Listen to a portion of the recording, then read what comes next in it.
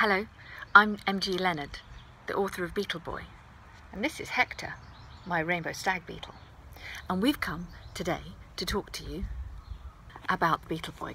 And it really matters to me a great deal that children read this book because I've tried to write the most exciting and compelling adventure about a boy called Darkus whose father mysteriously disappears and then he attempts to solve that mystery with the help of a beetle and an army of intelligent insects. I'm hoping that children might read the adventure and when they go out into their garden, perhaps look at these wonderful creatures and rather than be scared or run away, embrace them, befriend them, and maybe understand a little bit about the ecosystem in which we all live. Because beetles are very, very important. They are the greatest species of creature on the planet.